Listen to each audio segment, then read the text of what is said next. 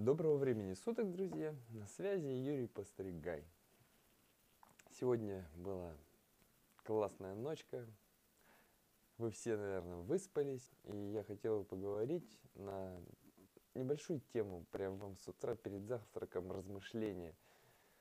Вот смотрите, я спортсмен. Я много тренируюсь, я качаю тело, развиваю мышцы, развиваю свой организм больше, больше, еще раз больше. И его нужно еще больше развивать. И для того, чтобы все делать быстрее, бегать, плавать, грести, нужно больше тренироваться. Ну и в то же время отдыхать. Но тренироваться нужно больше.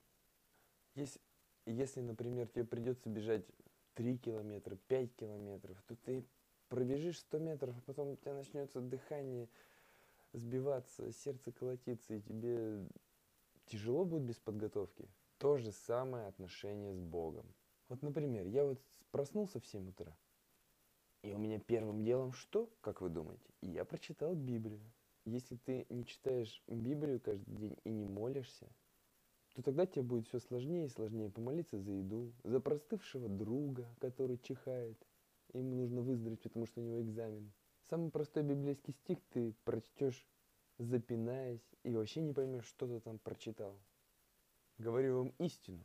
Чтобы трудиться хорошо, нужно постоянно это делать. Не нужно искать обходных путей, нужно просто тренироваться. Увидимся завтра. Хорошего вам дня. Пока. И не забывайте молиться.